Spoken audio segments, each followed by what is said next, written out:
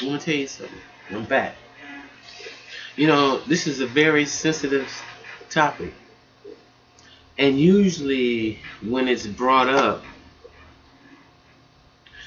most of us, especially sisters my age or uh, brothers my age, the brothers are pretty receptive because their whole lives are messed up because of child support. But a lot of the sisters get very angry and they don't want to take responsibility for the roles that they play in the emotional development of their daughters or their sons. And why they they feel the need to fill an emotional void with sex. Because usually it's I want somebody to love me for the rest of my life then I feel the baby will so they make a conscious effort and then a lot of them, after the newness is wore off, they don't want the baby anymore, or they leave them with every Tom, Dick, and Harry. So the babies are suffering through an, their whole existence, and then we're creating a whole subculture full of people who think uh, that it's okay to lay down and make babies everywhere, no responsibility or marriage or anything to the mother. We create more and more people like this. And at some point, um, it's not funny anymore. This is called concentration camp behavior, slave behavior. And the reason why most of us don't address it because a lot of times it's people in our family. You know, we're slaves. You know, we're connected to the slave. It doesn't matter if you got a bunch of letters behind your name. D D D E F G H I J K L M N O P. Doesn't matter. Because at the end of the day, when a cop pulls you over, you know, he don't see you no different than that guy that got 30 kids by 11 different women. And you can be a Harvard grad.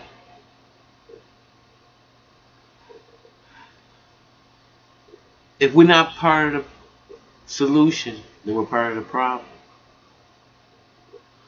And we're going to have to stop living our lives in fear and start checking this behavior in because we can't afford it no more.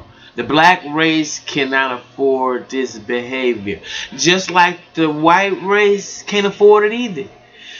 Poor white people, if you're not part of the slave owner 1%, you really don't have any, there's no benefits to you being prejudiced. I don't use the word racist because you don't have any power over me. And there's nothing that you can do that can indirectly affect my life. I mean, on a, uh, uh, you know, just uh, a, uh, a everyday quality of life level. So everybody has prejudices, and I don't worry myself with those individuals. It is the institutional racism that's going to affect you for uh, white as well. That's why I think that as human beings we should focus on more on what we have in common than what we have that's different. And the reason I say that because in my town right now, you know, we have a bunch of suits going on from the police officers pulling people over, sticking their fingers up their asses, uh, digging it in, twirling it around, and doing all types of perverted stuff in the name of searching for drugs. I mean, this is appalling. And I think at some point everybody got to have something they'll pro you know that they're gonna die for i'm not gonna die for no bullshit but i'd be damned if i let somebody violate me like that They gonna have to kill me. Cause I swear to God, they ain't nobody sticking their fingers up my behind and up my.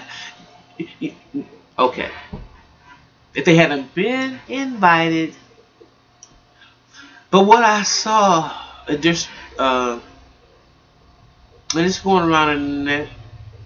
There was a male and a female white officer who did two white women the same way.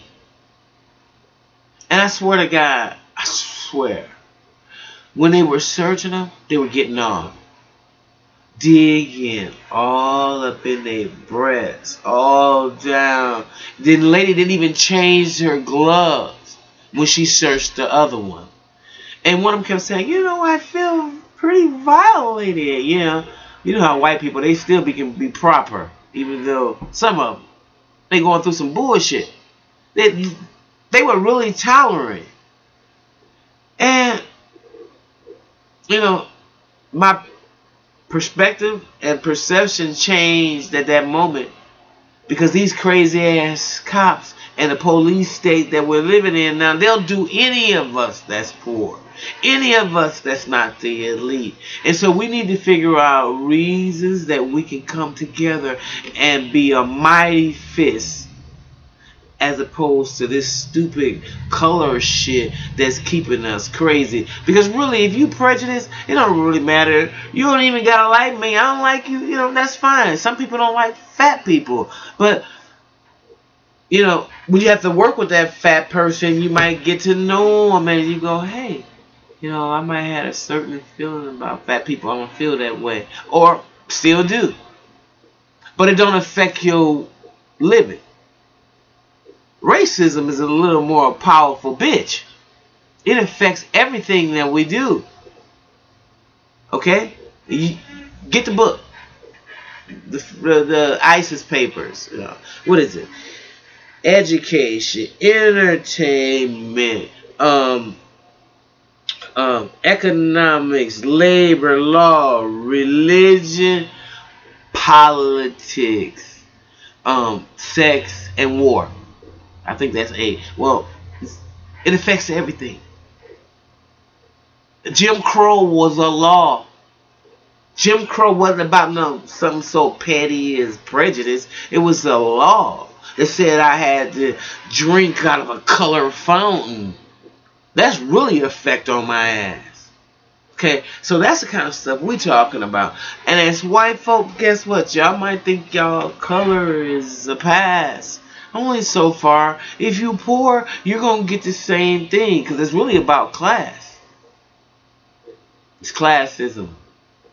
It's Zionism. All that type of stuff. Anyway, that's my rant for today. Wake up, slaves. You cannot continue to produce children for the prison industrial complex. That's where the asses is going. Keep your dicks inside your pants. Okay? and you dumb women keep your legs closed and stop having babies by every time Dick and Harry that you meet. Why don't you wait? Should make it a rule. You can't have a child until you are at least past 28. That should be. Of none of this teenage shit. You're not developed enough for this type of society. It's not like it was hundreds and hundreds of years ago. You can't have that today in this technical society and compete with other people. We can't be producing uh, just bottom feeders for society to feed off of. And we should be sick of it by now. Till next time, that's food for thought. Hotep family.